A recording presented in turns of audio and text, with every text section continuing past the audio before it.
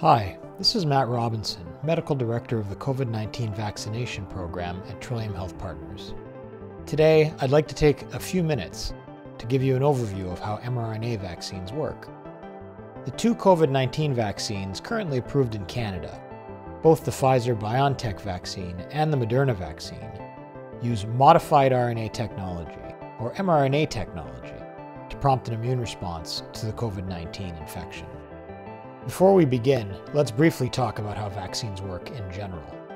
Vaccines teach our body to fight off potential future infections by prompting an immune response. In most vaccines, this happens by either exposing the body to a weakened or dead version of a virus, or to a very small piece of a virus.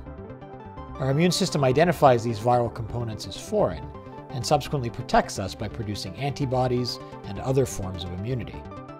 If your body encounters the virus in the future, the antibodies can bind to the virus, neutralize it, and prevent an infection.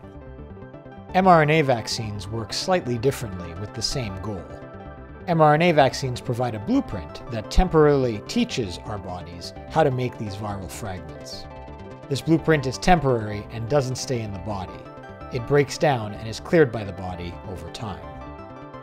Once the vaccine is injected into the muscle, immune cells will take up the mRNA blueprint and begin building a specific COVID 19 viral protein called the spike protein. These spike proteins recruit other parts of the immune system to generate a strong immune response. Although many cell types help build this immune response, the cells that produce antibodies, referred to as B cells, are one of the most prevalent groups of cells to be activated. These cells, once primed by this immune response, begin producing protective, neutralizing antibodies.